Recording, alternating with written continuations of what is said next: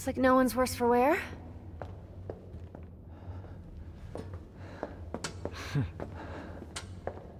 I'm just gonna double check.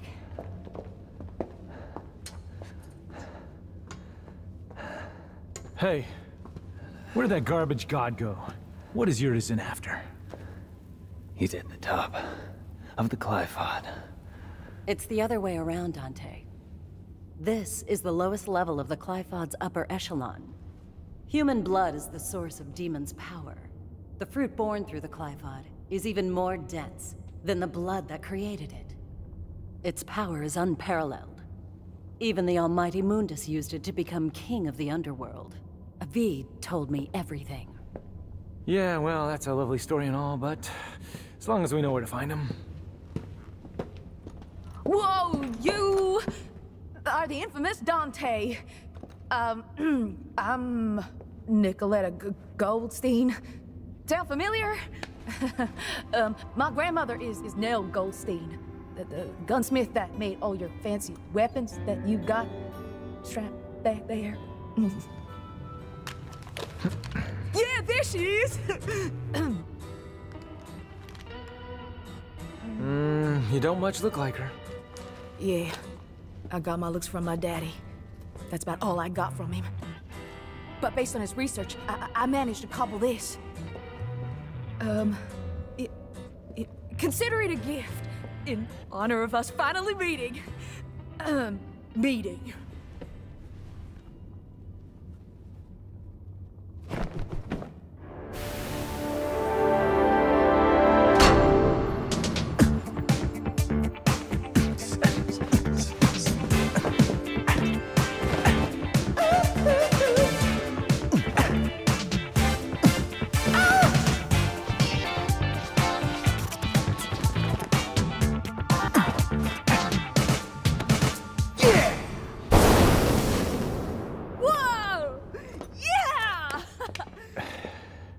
I'll take that.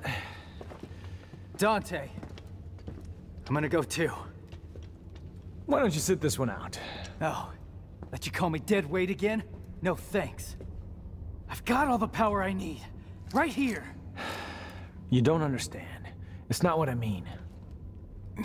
Let him go, Dante. Time is a luxury that we can no longer afford. We must chase after him post-haste.